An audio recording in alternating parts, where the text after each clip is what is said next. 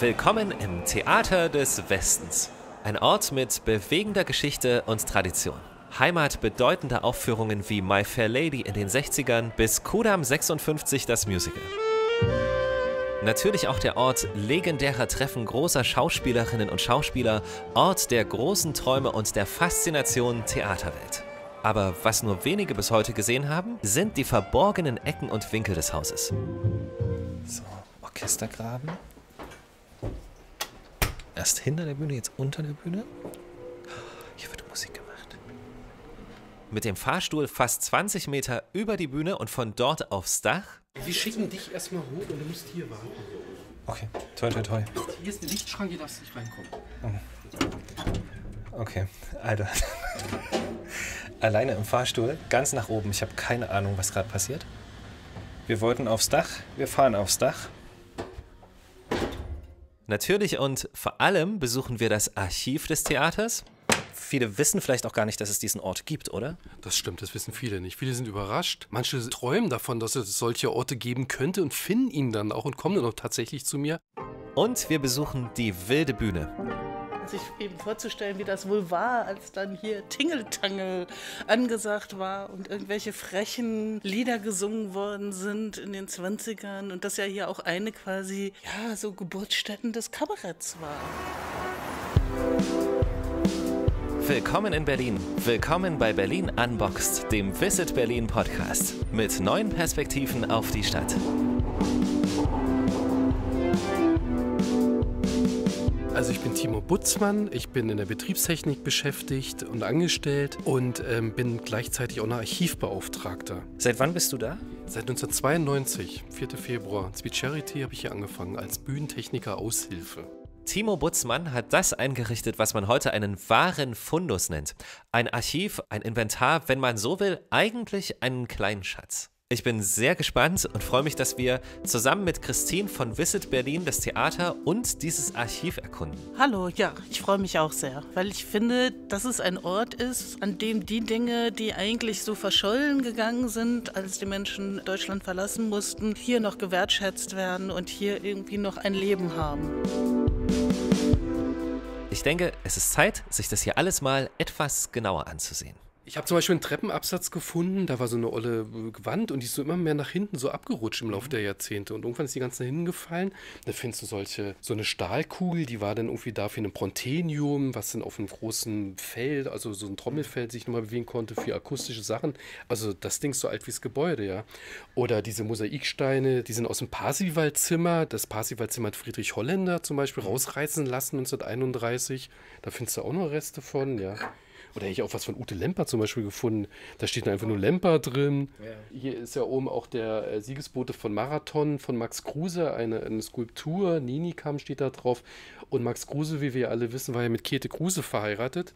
Und da sagt man auch so ein bisschen nach, Mensch, so eine Putte, die sieht ja aus wie so eine Käthe Kruse-Puppe. Wer weiß, ob das vielleicht von ihr sein könnte und so. Das weiß man alles nicht so genau, ja. Da viel Geheimnisse, so ein Gebäude. Ne? Was mich schon fasziniert, ist alleine auch so ein Plakat, wo der Name Hildegard Knef draufsteht. Es ist so, also das ist vielleicht jetzt nicht super spektakulär, aber es ist ja trotzdem, das ist aus einer anderen Zeit und es war dort und das wurde zu dieser Zeit auch wahrgenommen. Nee, Jetzt auch zu würdigen, weil ich früher dachte, mir, ja Gott, Hilja, hier, ja, Knefe ist das schon. Knef ist schon so, ja. ja. Mittlerweile, aber vor 20 Jahren war sie nicht cool. Ja, das ist sowas für alte Leute oder so. Ja, ich glaube schon. Mittlerweile, Mensch, denkst du, wow, Hilja Knef und so, ja. Da würde ich mit angeben, irgendwie auch schon, ne? So. Also ich finde ja die Kostüme am aller, aller beeindruckendsten. Die sind so Glitzer, Pailletten, Brokat. Das von Eva Also- Mattes zum Beispiel aus dem Blauen Engel. Ja. Ja, so ein auch, ein, ja, unspektakuläres Kleid. Oder von. Naja, wenn ich damit ins Büro käme. Dann wäre das nicht mehr unspektakulär. Oder von, von, Ganz von. Helmut Baumann aus Lacage. Ja. Ja, das ist nun wirklich spektakulär. Ja. Wie detailliert, wie, wie detailverliebt diese Kostüme sind, wie viel Liebe da äh, wirklich Ja. zum Detail drinsteckt und man dann so denkt, auf so einer großen Bühne müsste sich das ja eigentlich fast versenden oder untergehen, aber gerade das macht ja auch so eine Produktion halt aus. Das kostet ja auch wahnsinnig viel Zeit. Hat hier jemand wochen, wochenlang diesen Hut hier geknüpft oder äh, die Pailletten raufgenäht, ja. Wahnsinn. Woher ist das jetzt? Das ist, glaube ich, von Cabaret. Also ich habe da mehrere noch von. Die sind hier in so einer Tüte nochmal. Das Knef aufgehabt. Nee. ich glaube, ich habe eine andere Rolle, eine andere Rolle gehabt. Von ihr habe ich leider nichts, kein Kostüm. Leider. Nein, alles gut, macht nichts. Von Margot Hilscher habe ich hier, glaube ich, ein Hütchen. Weißt du, was das, das älteste Stück ist hier im Raum? Ja, ich könnte mir ganz gut vorstellen, sind diese Bauteile sind die ältesten Stücke. Zum Beispiel ein Stückchen Tapete aus dem Saal. So, so, Ja. ist richtig was original altes. Oder auch das Parsivalzimmer, ja. Also das ist auch richtig alt. Ansonsten habe ich zu Hause noch ein paar ganz alte Programmhefte, die habe ich jetzt gar nicht hier. Aber das sind die ältesten Exemplare. So diese Bauteile, komischerweise, ja. Und was, was schätzt du so aus, also so ungefähr aus welcher Zeit? Naja, aus der Gründerzeit, 1896, ist das Parsival-Zimmer stand hier. Genau. Am 1. Oktober 1896 ist das Theater eröffnet worden. Es ist davon abgesehen, wir haben das noch gar nicht so beschrieben, aber es ist, hat auch ein bisschen Wohnzimmer, ne? so, so Charakter. Es ist eigentlich wie in, einem, wie in einem guten Altbau, ist es so dieses das Bibliothekszimmer oder das, das Flügelzimmer oder so ein bisschen so, Ja, so, ein bisschen ist das so eine so, ja. Stimmung hat es hier. So. Ja. Gibt es für dich etwas, wo du persönlich sagst, so, das ist, hat eine besondere Bedeutung für mich oder so? Ja, sind so Kleinigkeiten, die ich noch selber erlebt habe. Zum Beispiel das, das Ding, was da an der Wand ist, das leuchtet auf und da steht Feuerwehr, Technik, Orchester, Chor, Statisterie und Ballett drauf. Das hing jahrzehntelang in der Kantine hier. Und jedes Mal, wenn da ein Teil dieses Kästchens aufgeleuchtet ist, also zum Beispiel Technik war ich ja früher, da musste ich auf die Bühne gehen zum Arbeiten. Und das hängt ja jetzt immer noch und leuchtet immer leuchtet noch. dauerhaft. Und leuchtet dauerhaft, genau. Und alles leuchtet auch. Achso, und wenn die Feuerwehr geleuchtet hat, da Genau, war da ist irgendwas auch nicht in Ordnung. Oh, jetzt müssen wir da hoch. Und jetzt ist die Feuerwehr hochgelaufen. Oder das Ballett musste nach oben. Oder also gleichzeitig hat es nie geleuchtet. Vielleicht zum Schluss, wenn dann alle nach oben mussten. Ja, Ja, Ich finde, ich bin so, so positiv überrascht, dass das so aufgeräumt Weißt du, das, wenn, du, wenn du Archiv irgendwo hörst und das über so einen langen Zeitraum, dann denkst du so, es könnte auch ein Dachboden sein, weißt du so, und, und, und viele Sachen gar nicht zugänglich und man weiß einfach nur, dass sie irgendwo sind. Aber hier sieht auch alles so zugänglich aus, also so überlegt halt. Ja. ja, ja, das ist so gewachsen auf jeden Fall im Laufe der Zeit. Es wird einem natürlich auch ermöglicht. Diese Räumlichkeit ist auch nicht selbstverständlich. Das muss man auch mal sagen, ja. Eigentlich sind wir doch hier direkt neben der Bühne fast. Also die ist ja, da. Und es ist wirklich wie so ein kleiner Ort. Die ganze Geschichte irgendwie des Ortes ist hier versammelt und äh, man kann sich so rein vertiefen. Man kann sich die Plakate anschauen, äh, vielleicht auch mal reinhören und eben diese ganzen Namen. Also auch die ganzen großen Namen, die in diesem Haus waren. Also das fängt ja schon in den 20ern an, wer hier alles ein- und ausgegangen ist. Und Wen hast du noch so hier miterlebt? Ich meine, 30 Jahre sind ja auch schon eine relativ lange Zeit. so sehr so komische Situationen, äh, das ist mir nachhinein äh, in der Vorbereitung ist ein bisschen so aufgefallen. Also da gehst du zum Beispiel an die Pforte, gehst ganz normal zur Arbeit, dann steht da ein älterer Herr und denkst so, sag mal, woher kennst du denn den? Ist es mein alter Musiklehrer? Nee. Ist es ein Verwandter von dir? Also du hast irgendwie so einen, so einen Zugang und fühlst dich irgendwie auch verpflichtet, weil du den ja kennen könntest, aber er kennt dich nicht, ja. Na gut, dann gehst du rein, dann gehst du in den Techniker-Aufnahmeraum, kommen alle an. Sag mal, hast du gesehen? Gregory Peck steht vorne an der Pforte. Weißt du, so irgendwie. Denkst du, was? Stimmt, das war der ja vorhin, ja? Das war während dem Filmfestspielen, da war er mal hier, glaube 93 oder so. Genau. Da hatte sich, weiß Christine sowas, genau. Das weiß ich genau, weil ich ihn ja nämlich nebenan im Zoopalast äh, gesehen habe bei der Sonderaufführung zu äh, To Kill a Mockingbird, bei der halt auch noch Billy Wilder da war, um jetzt nochmal den Bogen zu schließen, denn der war ja hier auch mal zu Gast hier an diesem Haus und ist ja auch so eine Berlin-Ikone. ja, Billy Wilder steht plötzlich vor dir, weil er sich verlaufen hat, die Bühne nicht gefunden hat. Eine Aufregung hier, alle wollen was von mir. Wo geht's denn hier zur Bühne? Steht da hinten irgendwo in der Deko-Werkstatt plötzlich. Und ich so, kennst du doch. Und du weißt von gar nichts vorher, ja. Danke für diesen Einblick hier. Sehr gerne, immer wieder gerne, ja. Wir gucken uns das Gebäude noch an, aber ich glaube, wir schließen jetzt erstmal mit einem deiner Schlüssel die, das Archiv wieder ab. Für diesen wirklich besonderen Raum gibt es übrigens keine festen Öffnungszeiten, aber Sie können gerne vorbeikommen. Aufs Dach nehmen wir Sie jetzt ganz exklusiv mit, denn diese Tür öffnet sich in der Regel nicht für Besucherinnen und Besucher. Okay, hinter den Kulissen, unter den Kulissen und jetzt über den Kulissen, glaube ich. Und vorne hin. Wow, okay, krass. Wir haben Schlüssel, ne? Okay, das, also das, das stimmt schon mal zu 100 Prozent, dass du zu jeder Tür einen Schlüssel hast. Zu so, jeder Tür. Wirklich? Wirklich zu fast zu jeder. Es sei denn, vielleicht nicht zum Tresor oder weiß ich nicht was, keine Ahnung, aber eigentlich zu jedem Raum, das stimmt ja. Ist das ein öffentlicher Raum? Kommt man hierher? Nee, kein öffentlicher Raum. Wir sind auf dem Bühnenturm, 26 Meter Höhe und sind genau über der Bühne. Ja. Es war jetzt auch, also ich erzähle das mal kurz. Es war nicht ohne. Für den, der mit der Höhe jetzt nicht, sagen wir mal, so vertraut ist, waren so ein, zwei Stellen dabei, wo ich dachte, okay, krass. Also so, wir sind so oberhalb der Bühne lang gelaufen, oder? Auch ein Stück weit. Und wie viele Meter sind das bis runter? Ja, das sind bestimmt 20 Meter, 18 Meter bis runter. Also wir schauen rüber auf den Kurfürstendamm, wir sehen die Gedächtniskirche. Da auf der einen Seite winkt der Fernsehturm, auf der anderen Seite der Funkturm. Also es ist wirklich toll. Wir wollen jetzt so ein Stück weit auch was zu dieser besonderen Architektur sagen, dieses Hauses. Eine Mischarchitektur, sage ich jetzt mal so. ja. Ähm, was kannst du uns dazu sagen? Ich glaube, dass das immer sehr liebevoll aussieht und sehr interessant. Und, aber ich denke oder weiß es auch, dass der Architekt, also der Gründungsvater Bernhard Sering, sich das alles so einzeln gekauft hat auch. Der hat gesehen, Mensch, guck mal, da gibt es noch vier Löwen, die bringe ich mal aus Rom mit, da gibt es sowas ähnliches, das will ich hier auch haben. Also der hat so alles rangeklebt und hingestellt, was es so gab.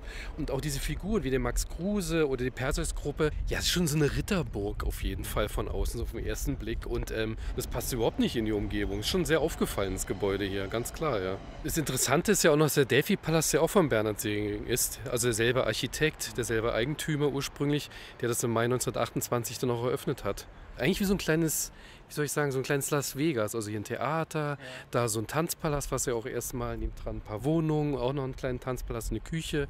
Also es war immer irgendwas Sicheres da. Ja. Entweder wurde getanzt oder man ist ins Theater gegangen. Also es gab immer Mieteinnahmen irgendwie, auch um, um sich zu finanzieren letzten Endes, ja. Das ganze Viertel, ja, also Charlottenburg war ja wirklich auch so, so ein Gegenpol zum Osten. Könntest du diesen Gedanken kurz erklären, also wie das gemeint war auch? Also es ist wirklich der neue Westen entstanden, sage ich mal. So nach, in der Gründerzeit hat sich das so entwickelt, ganz klar. Da haben die Leute hier günstig sich was gekauft, ein ganzes äh, Terrain und haben sich daraus äh, einzelne Grundstücke wieder gemacht. Und das findest du überall wieder. Da gab es den Offiziersverein in der Hardenbergstraße, gab es Tatterseele. Also es war so eine richtige Aufbruchstimmung hier in dem sogenannten Neuen Westen. Ja, man muss ja auch noch dazu sagen, dass es damals eben Charlottenburg war, eine eigene Stadt. Es war noch nicht Berlin. Also es war draußen. Hier waren ja auch ganz viele äh, Leute, die in Charlottenburg dann Urlaub gemacht haben, die sogenannte Sommerfrische gegangen sind. Also es war wirklich was anderes und so ein bisschen ist es das ja heute immer noch. Von ganz oben vom Dach nach ganz unten in den Keller. Und was wir dort finden, ist das Theater im Theater, die sogenannte wilde Bühne.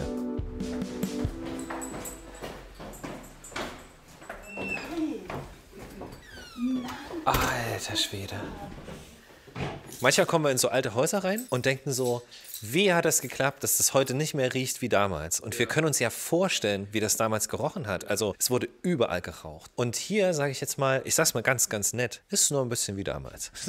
Es ist ganz genauso wie damals. Es beschreibt auch die Gründerin der Wilden Bühne, Trude Hesterberg, dass sie vor lauter Qualm und äh, zugeraucht, ihr kleines, sie hatte wohl einen kleinen Gong äh, geschlagen hat und dann ging die Vorstellung los.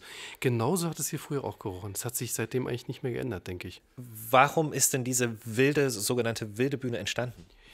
Die ist entstanden, weil das eigentlich ursprünglich mal Restauranträume waren, Theaterrestaurant mit einzelnen Seen, Parsifalzimmer und so weiter.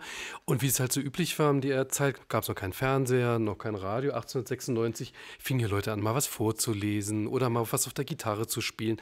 Und es hat sich, es wurde halt immer mehr, bis dann halt Trude Hesterberg 1921 dann ihre wilde Bühne ge gegründet hat und ja, ganz tolle Literaten waren hier, Erich Mühsam und äh, Kurt Tucholsky und Bertolt Brecht war hier und, und eine riesen ellenlange Liste an Besuchern und, und, und Autoren, die sich hier verewigt haben. Ich habe noch an Holländer gedacht, der es ja dann quasi übernommen hat und weitergeführt hat, bis er dann ja auch ins Exil gehen musste. Irgendwie kann man sich kaum vorstellen, aber irgendwie ist es toll.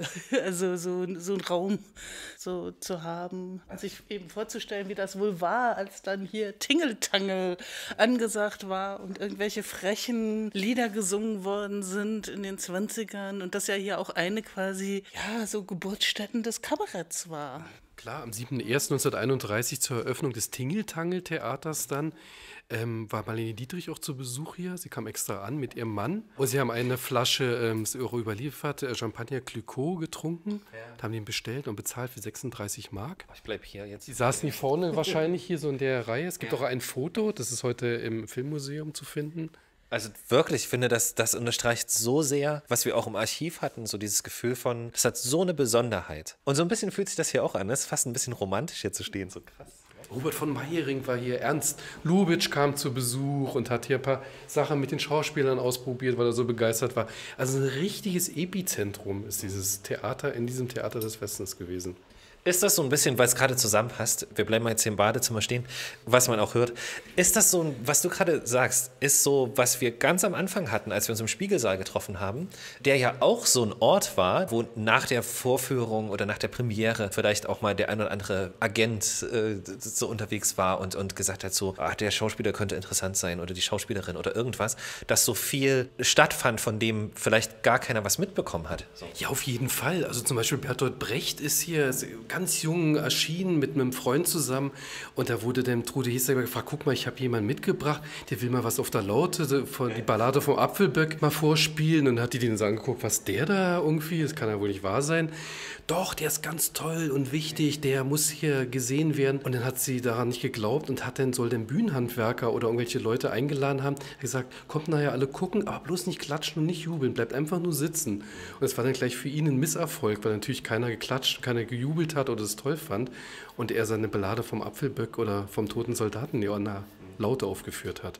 Wenn die Wände sprechen könnten, also hier könnten sie echt viel erzählen. Kannst du mich nicht hier reinlassen in die Feier? Ich bin nicht eingeladen worden, nur damit ich auch gesehen werde oder so. Ja, also, ach Mensch, dich habe ich ja lange nicht gesehen und ist mal wieder auf dem Markt sozusagen. Das ist ganz wichtig, glaube ich, für Schauspieler, Darsteller und auch Musiker und alles, ja, also alle Künstler, ja. Ich, ich, finde auch, dass diese Begeisterung dafür halt auch wichtig ist. Ne? Wir beobachten ja so viel und da fehlt sowas eigentlich ein bisschen. Und es gibt es aber. Also ich meine, ich muss einfach nur hingehen.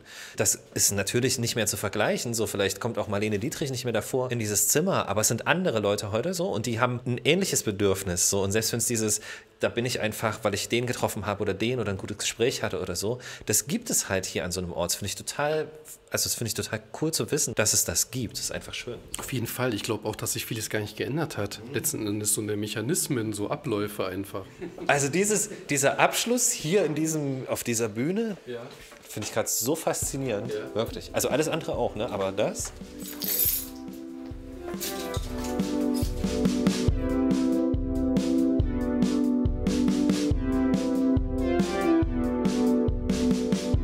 Gehen ins Theater des Westens. Das war so, das hat die Christine zumindest gesagt, so. Aber wir besuchen hier auch 100 verschiedene Örtlichkeiten. Das ist halt so vielleicht auch ein ganz, ganz wichtiger Teil, der dieses Haus hier ausmacht, dass es so facettenreich und so vielfältig ist. Und sicher sind wir an Orte gekommen, wo andere nicht hinkommen, weil dein berühmter Schlüsselbund uns da reingelassen hat. Aber das ist ja das, was das Haus ist. Hat einfach ganz viel Geschichte, ganz viele Geschichten, ganz viele Menschen, ganz viel Zeit, die auch hier vergangen ist. Die Freude auch ein Stück weit darüber, dass es immer noch steht. Und für uns natürlich auch die Freude, dass wir uns das mit dir so angucken konnten. Also vielen, vielen Dank, dass du dir Zeit genommen hast und uns auch so viel erzählt hast. Schön. Es war mir eine Freude. Ihr könnt immer wieder kommen und gucken uns auch noch andere Räume an, wenn ihr möchtet. da haben wir noch was zu tun. Christine, dir auch vielen, vielen Dank. Ja, sehr, sehr gerne. Ich fand es auch ganz toll, weil ja, man geht ins Theater, aber heute sind wir wirklich mal unters, aufs, ins, hinter äh, geklettert, gefahren. Es war wirklich echt beeindruckend. Cool, vielen Dank auf jeden Fall. Sehr gerne. Ihr seid immer herzlich willkommen. Berlin Unboxed, der Visit Berlin Podcast. Auf Spotify, Google Podcast, Apple Podcast oder dieser. Folgt uns auf Instagram, Facebook oder YouTube und entdeckt Berlin mit der About Berlin App, dem digitalen Stadtführer für Berlin-Geschichte. Alle Infos auch auf visitberlin.de.